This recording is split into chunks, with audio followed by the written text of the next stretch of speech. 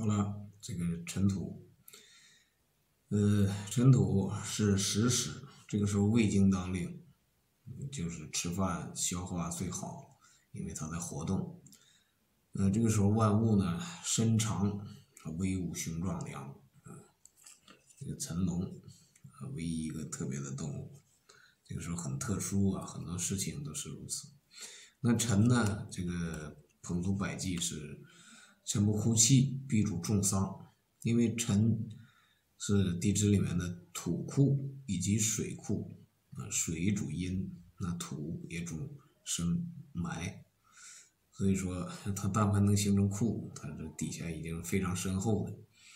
也就是说这个时候啊，就好像跟阴跟故人有关系，所以呢啊，尽量不要哭啊，包括辰年、辰月、辰日、辰时。四啊，四火，这个其实除了尘土之外，啊，因为尘土它是往往通常是静的，但是想动的，这个是四翼马位，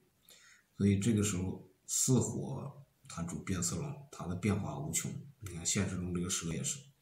啊，当然尘要激发了它的这个动的更多，啊，它能化成各种五行啊，这不慎展开，呃。它是于中，啊，就是这个太阳马上到正中间了，呃，阴气消尽，啊，纯阳刚健，这个时候四它是纯阳，啊，是乾卦，比辰还要显得呃突出，啊，它有它的厉害。那四不远行，啊，财务伏藏，就说这个时候啊，彭祖告诉我们，啊，不要走。太远的路，呃，四本身这个呃也主道路，呃，然后那个金呢，往往是呃这个财务啊，象征着金。啊，平时我们是这么论的，呃，火克金是吧？这个时候火还是很厉害的，呃，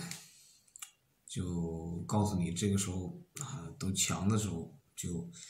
一是必强。啊，一是物极必反这两个方面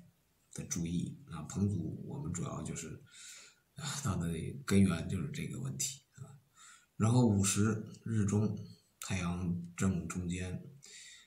呃，丰满盈大，阴气旺盛啊，阴阴气萌生啊，不好意思，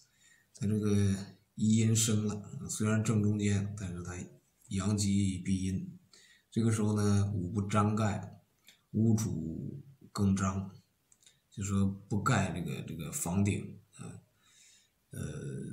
啊也是正对着太阳啊，人间一个小冲。同时呢，子午线，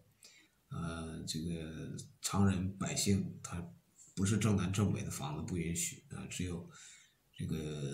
帝王将相啊，尤其帝王才能受得起，才允许。啊接受这方龙气，那一般的，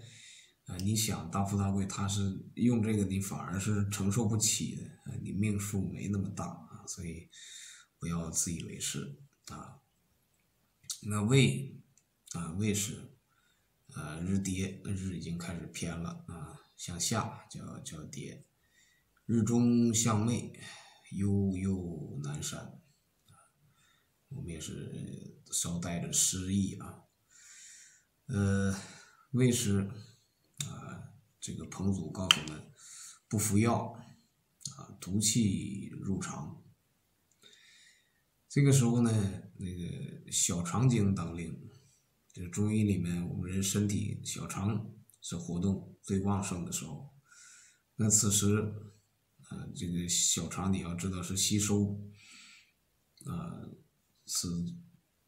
众多营养是最重要的一关啊，胃首先消化是物理变化，那小肠就是化学变化，所以呢，这个时候啊，你就药是要三分毒，实际上食物也是有那么一一分半分毒的，